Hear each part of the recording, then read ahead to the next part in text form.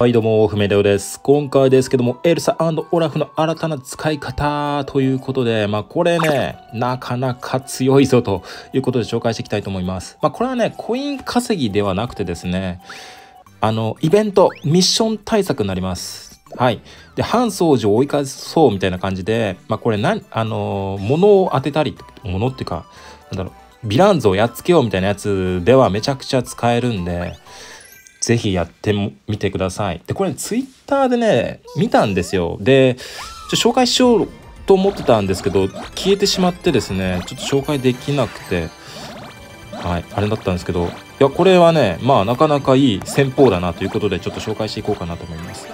まあ、何かっていうとですね、オラフ、オラフ、スキル発動すると、これ、あの、ボムがひたすら降ってくるじゃないですか。なので、もうエルサのスキル使わないでもうポンポンふ当てるだけ。これが強えんだよマジで。これ余裕っすもん。マジで余裕っすよ。でこれスキル1からこの戦法使えるんで。そう。余裕っす。もうなんならこれ最強っすよねマジで。このやっつけように関してはコインは稼げないけどまあ最強っすね。でまあ終わったら別にスキル発動してしまえばいいだけなんで。でしかも今は新積むボーナスもあるから簡単にクリアできてしまうというね。お強いんでございますよ。これが。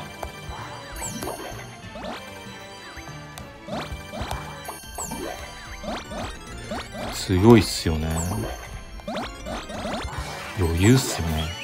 でもう終わったらですねもうコイン稼ぎにシフトしていただいて。はい。よし。これでもうとりあえず1800枚回収したんでもうもう大丈夫です。っていう使い方がまあちょっとできるんでまあ是非ですねやってみてもらいたいなっていう感じでございます。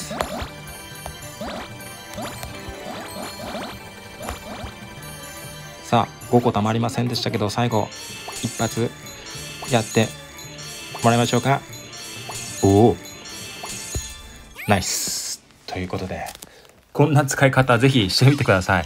まだイベント終わってない方もねたくさんいらっしゃると思いますのでまあハンスやっつけるとかマシュマロをやっつけるっていうミッションがねありますので、まあ、ぜひエルオーラ持ってる方活用してみてください。はい。っていう感じで以上で終わりたいと思います。最後までご視聴ありがとうございました。バイ。